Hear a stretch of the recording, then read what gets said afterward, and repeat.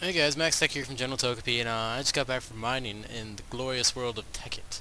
Tekkit is like a Minecraft expansion. I built a pretty cool house, but I didn't really, like, you know, get any machines or anything put in. So, I'll show you my house. It's pretty friggin' sweet. so yeah, this is my house.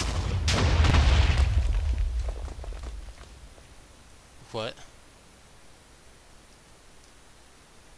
The Cactus Cult?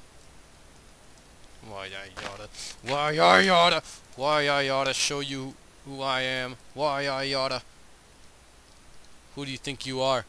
Huh? I'm trying to be in some creative Minecraft, you know, exploring Tekkit, single player style, you know. You know, I'll teach you something. Cactus defense fuck? mode activate. Alright.